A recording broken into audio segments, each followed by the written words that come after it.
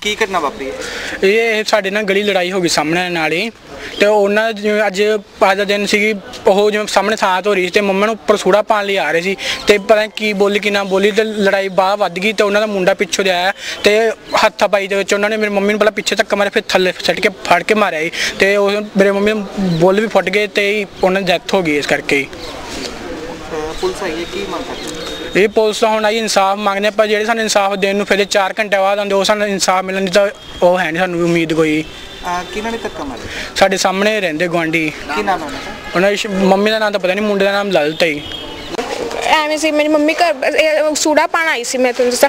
Aunty ਇਹ ਸਾਹਮਣੇ ਲਿਖ ਥਾਂ ਤੋਂ ਹੀ ਜਾਂਦੀ ਸੀ ਬੋਲਣ ਲੱਗ ਗਈ ਹਾਂ ਹਾਂ ਕਿਵੇਂ ਆਈ ਹੈ ਆ ਗਈ ਮਿੰਟ ਕੁ ਪਿੱਛੇ ਚੜ ਕੇ।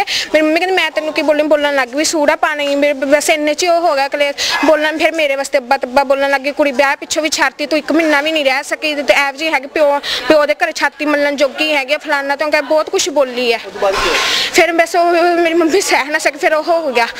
ਚੱਕਰ ਖਾ ਕੇ ਫਿਰ ਮੈਂ ਖੁਦ ਚੱਕਿਆ ਦੇਖੋ ਮੇਰੇ ਖੂਨ ਕਿਸੇ ਨੇ ਹੱਥ ਲਾਇਆ ਮੈਂ ਖੁਦ ਹੀ ਚੱਕੇ ਮੈਂ ਤੇ ਮੇਰੇ ਭਰਾ ਨੇ ਦੋਵਾਂ ਨੇ। ਫਿਰ ਅਸੀਂ ਸਭ ਨੂੰ ਫੋਨ ਲਾ ਲਾ ਕੇ ਵੀ ਇੱਧਰ ਆ ਜਾਓ ਕੋਈ ਮੇਰੀ ਮੰਮੀ ਨੂੰ ਹਸਪੀਟਲ ਲੈ ਜਾਓ ਦਵਾਈ ਲੈ ਜਾਓ। ਕਿਤੇ ਕੋਈ ਧੱਕਾ ਵਗੈਰਾ? ਹਾਂ ਧੱਕਾ ਪਹਿਲਾਂ ਨਾ ਮੁੰਡਾ ਮਾਰੇ ਤੂੰ ਚੁੱਪ ਕਰ ਜਾ ਤੂੰ ਚੁੱਪ ਤੂੰ ਬਾਲੀ ਬੰਦੀ ਤੇਰੀ ਕੁੜੀਆਂ ਹੀ ਨਹੀਂ ਮਾਨ ਆਂਦੀਆਂ ਤੂੰ ਰੋਜ਼ ਦੇਖਦੀ ਫਿਰਦੀ। ਇਹਨਾਂ ਮੁੰਡੇ ਨੇ। ਕੀ ਨਾਮ ਇਹ ਲਲਿਤ।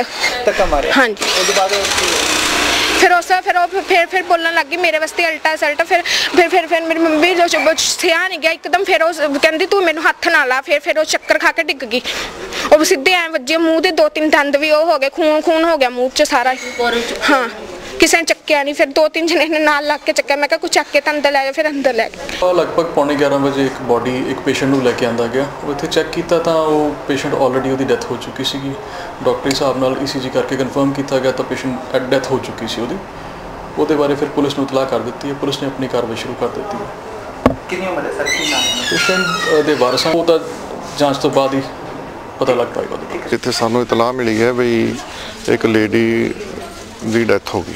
ਤੇ ਹਸਪੀਟਲ 'ਚ ਉਹਦੀ ਡੈੱਡ ਬੋਡੀ ਦੇਖੀ ਹੈ ਉੱਥੇ ਮੈਨੂੰ ਹਜੇ ਕੋਈ ਵਿਜੀਵਲ ਸੱਟ ਤਾਂ ਨਜ਼ਰ ਨਹੀਂ ਆਈ। ਪਰਿਵਾਰ ਵਾਲਿਆਂ ਨੇ ਜਿਹੜਾ ਬਿਆਨ ਲਿਖਾਇਆ ਵੀ ਇਹਨੂੰ ਗੁਆਂਢੀਆਂ ਨਾਲ ਝਗੜਾ ਹੋਇਆ ਸੀ, ਉਹਨਾਂ ਨੇ ਧੱਕਾ ਦੇ ਦਿੱਤਾ, ਡਿੱਗੀ ਤੇ ਉੱਥੇ ਦੀ ਡੈਥ ਹੋ ਗਈ। ਹਸਪੀਟਲ 'ਚ ਬਰੌਡ ਡੈੱਡ ਲਿਆਂਦੀ ਗਈ ਹੈ। ਤੇ ਹੁਣ ਅਸੀਂ ਮੌਕੇ ਤੇ ਦੇਖਿਆ, ਇੱਥੇ ਦੋਨਾਂ ਤਰ੍ਹਾਂ ਦੇ ਵਰਸ਼ਨ ਸਾਨੂੰ ਸੁਣਨ ਨੂੰ ਮਿਲੇ ਨੇ। ਅਸੀਂ ਰਿਕਾਰਡ ਕਰ ਰਹੇ ਹਾਂ ਸਟੇਟਮੈਂਟਸ ਆਂਡੀਆਂ ਗੁਆਂਢੀਆਂ ਦੀਆਂ। ਕੁਝ ਹੈਗੇ ਨੇ ਵੀ ਧੱਕਾ ਮਾਰਿਆ ਕੁਝ ਕਹਿੰਦੇ ਨੇ ਨਹੀਂ ਮਾਰਿਆ। ਅਸੀਂ ਹੁਣ ਵੈਰੀਫਾਈ ਕਰ ਰਹੇ ਹਾਂ ਤੇ we will take action as per law